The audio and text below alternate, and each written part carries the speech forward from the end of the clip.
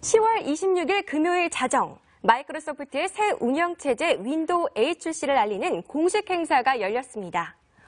온라인을 통해 참가 신청을 한 150여 명과 수많은 취재진들로 늦은 시각에도 북새통을 이뤘는데요.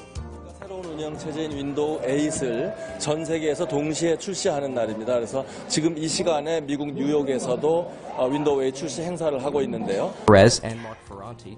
네, 마이크로소프트는 10월 26일부터 윈도우 8을 전 세계에 동시 출시했습니다.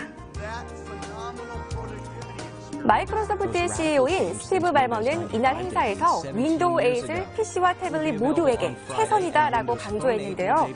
드디어 윈도우 8의 출시를 알리는 카운트다운이 시작됐습니다.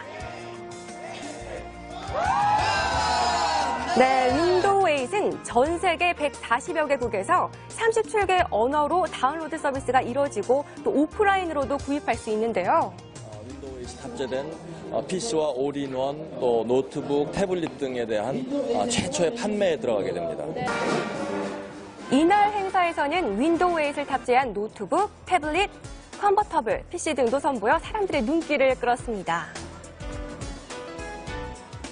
아, 진짜 뭐 터치감이요? 이거 보세요. 정말 좋아요. 터치감도 너무 좋고요.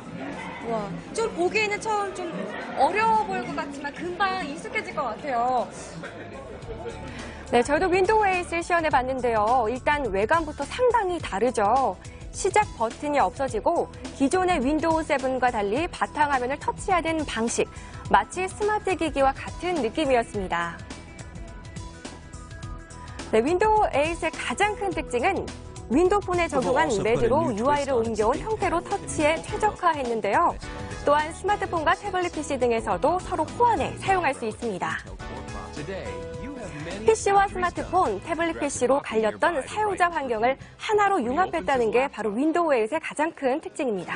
세븐이나 이런 건 좀 터치나 이런 건 좀 안 돼 있었는데 좀 부드럽게 잘 움직이는 것 같아요. 시작 버튼 같은 게 잘 없어가지고 약간 좀 불편한 점도 있고. 기존에 세븐을 가지고 있던 분한테는 뭐랄까 쉽게 다가갈 수도 없을 뿐더러 제대로 적응할지를 잘 모르겠네요. 힘들 것 같아요. 하나의 OS로 PC에서도 할 수 있고 태블릿에서도 할 수 있고 핸드폰에서도 할 수 있으니까 되게 서로 잘 연결시키면은 그 전에 썼던 다른 OS보다 더 좋을 것 같아요. 저희 입장에서는 선택의 폭이 넓잖아요. 최근 스마트폰과 태블릿 PC에 눌렸던 PC 업계. 이런 상황에서 마이크로소프트가 내놓은 대안이라는 점도 관심을 모으고 있는데요. 윈도우즈 8은 어, 태블릿 기기 가운데 정보를 즐길 뿐만 아니고 생산하고 가공하는 기능까지 제공하는 유일한 디바이스입니다. 거기에다가 어, 키보드와 마우스, 터치까지 함께 제공하는 유일한 디바이스이기도 하고요. 그런 게 관점에서 보자면 어, 기존 태블릿 기기들은 도저히 경쟁할 수 없는 어, 나름의 강점을 가지고 있고 그런 이유 때문에 어, 앞으로 태블릿 시장이 폭발적으로 커지고 그 커지는 시장을 주도하게 될 것입니다.